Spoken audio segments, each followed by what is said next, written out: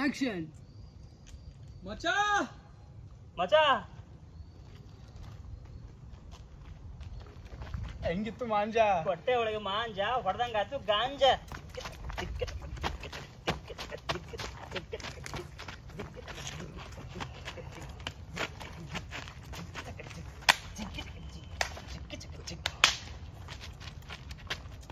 ಸಾಕು ಬಿಡುತ್ತೆ